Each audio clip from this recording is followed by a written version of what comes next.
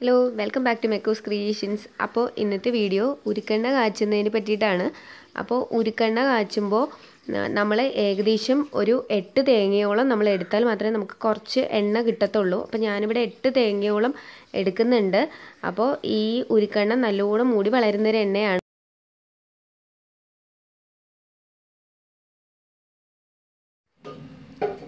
ഞാൻ തേങ്ങയൊക്കെ തിരുകിയിട്ടുണ്ട്? അതുകൊണ്ടാണ് തേങ്ങ കാണിക്കാൻ പറ്റാതെ അത് ചിരട്ട കാണിച്ചേ. അപ്പോൾ തേങ്ങ തിരുകി നമ്മൾ എട്ട് തേങ്ങയോളം തിരുകി എടുത്തിട്ടുണ്ട്. ഇതിപ്പോൾ എട്ട് തേങ്ങ തിരികിയതല്ല കുറേയൊക്കെ പിഴിഞ്ഞ് പാലെടുത്തിട്ടുണ്ട്.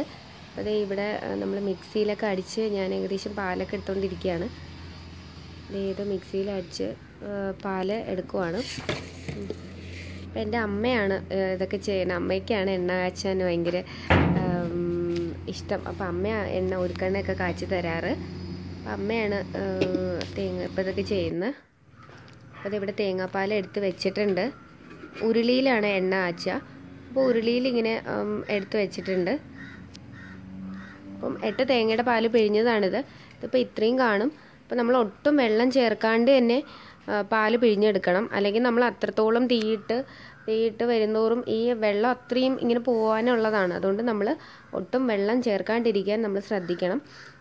തനി പാൽ തന്നെ നമ്മൾ പിഴിഞ്ഞെടുക്കണം.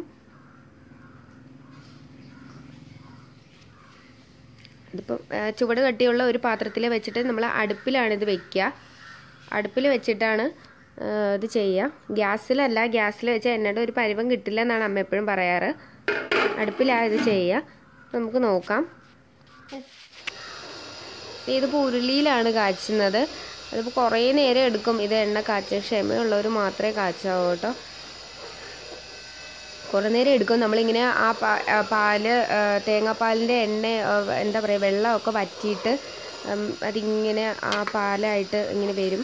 അപ്പോൾ അതാ ഞാൻ പറഞ്ഞ ഒരുപാട് ഇത് എടുക്കരുതെന്ന്. ഒരുപാട് വെള്ളം തേങ്ങയിൽ ചേർക്കരുതെന്ന്. അല്ലാണ്ട് തന്നെ അടിച്ചെടുക്കുന്നത് ഇതിപ്പോൾ എണ്ണയൊക്കെ വേർതിരിഞ്ഞ് വരുന്നുണ്ട് അതിൽ നിന്ന് തേങ്ങയുടെ കൊത്തായി ഇപ്പം നല്ലപോലെ നിറം മാറി നല്ലപോലെ നിറം മാറി നമ്മൾ കുറേ നേരം എടുക്കുക ഏകദേശം ഒരു അര മുക്കാൽ മണിക്കൂർ എടുക്കുമ്പോഴാണ് ഇങ്ങനെ നിറം മാറുക. നിറം മാറി ഒരു ബ്രൗൺ കളറാവും. ഇനി അതിൽ നിന്ന് എണ്ണ നല്ലോണം വേർതിരിഞ്ഞ് വരാൻ തുടങ്ങും. തേങ്ങയുടെ കൊത്തൊക്കെ താഴെയായിട്ട് അടിയും.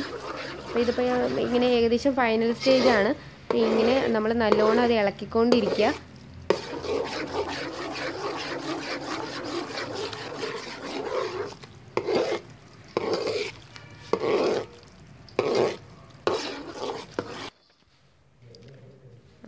അവസാനം എണ്ണ തയ്യാറായി. ഇതിപ്പോൾ ഞങ്ങളുടെ വീട്ടിലെ എണ്ണക്കുപ്പിയാണ്. എണ്ണക്കുപ്പിയിൽ എണ്ണ എടുത്ത് വെച്ചേക്കുവാണ്. ഇത്രയേ ഉള്ളൂ ഉണ്ടോ എട്ട് തേങ്ങ അച്ചടി ഇത്രയല്ല കുറച്ചുകൂടെ ഉണ്ട്. അതിപ്പം ആ തേങ്ങ കൊത്തിയിൽ നിന്ന് അമ്മ എടുക്കുന്നേ ഉള്ളൂ. ഇതിപ്പോൾ ഇത്രയാണ് ഏകദേശം നമ്മൾ ഫസ്റ്റ് ഒഴിച്ച് വയ്ക്കും വരിക. ഇത്രയും കണ്ടു? വലിയൊരു ഒരു കിലോയുടെ നെസ്കഫയുടെ കുപ്പിയാണ്. അതിൽ ഇത്രയേ ഉള്ളൂ എണ്ണ. അപ്പോൾ നമ്മൾ ഒരു തേങ്ങയൊക്കെ എടുത്തു കഴിഞ്ഞാൽ ഒട്ടും എണ്ണ നമുക്ക് കിട്ടത്തില്ല. കുറച്ചേ കിട്ടത്തുള്ളൂ. നമ്മൾ എണ്ണ എടുത്തതിന് ശേഷം നമ്മുടെ ഉരുളി ഇങ്ങനെ ചരിച്ച് വെക്കണം. അപ്പം തന്നെ ചരിച്ച് വെക്കണം. അല്ലെങ്കിൽ ആ കൊത്തിലൊക്കെ ഈ കാണുന്ന കൊത്തിലൊക്കെ അത്രയും എണ്ണ പിടിച്ചിരിക്കും. അതുകൊണ്ട് നമ്മൾ എണ്ണ എടുത്തതിന് ശേഷം ഇങ്ങനെ ചരിച്ച് വയ്ക്കുക ചരിച്ച് വെച്ചതിന് ശേഷം അപ്പോൾ കണ്ടോ കുറച്ച് എണ്ണ ഇങ്ങനെ താഴെ താഴെയായിട്ട് ഇങ്ങനെ തങ്ങി നിൽക്കുന്നുണ്ടാവും ആ എണ്ണ നമുക്ക് സെപ്പറേറ്റ് മാറ്റി വെക്കാം എടുത്ത് വെക്കാം അല്ലെങ്കിൽ ആ കൊത്തി തന്നെ അതിങ്ങനെ പിടിച്ചിരിക്കും. അതുകൊണ്ട് നമ്മൾ എപ്പോഴും എടുത്തതിന് ശേഷം ഈ ഉരുളി നമ്മളിങ്ങനെ ചരിച്ച് വയ്ക്കണം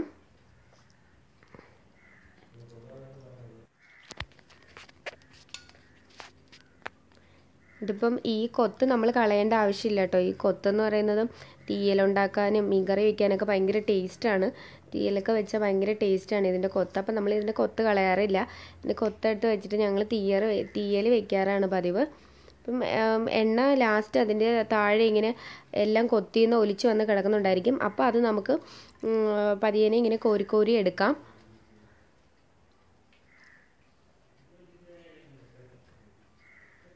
നല്ല തെളിഞ്ഞ എണ്ണ അപ്പം നമുക്ക് കിട്ടും.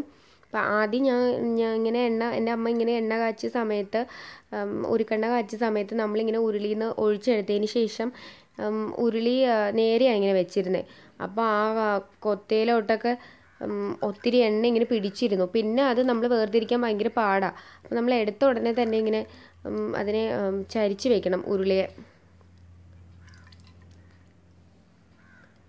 ഇരുട്ടത്താണ് ഞാനിത് എടുത്തത് അപ്പോൾ അതുകൊണ്ട് തന്നെ നല്ലോണം കാണാൻ പറ്റില്ല അല്ലേ? അപ്പോൾ നിങ്ങളെല്ലാവരും ഉരുക്കെണ്ണ കാച്ചി വീട്ടിൽ കാച്ചി നോക്കണം. നല്ലോണം മുടി വളരുന്ന ഒരു എണ്ണയാണിത്. നിങ്ങളെല്ലാവരും കാച്ചി നോക്കണം. താങ്ക്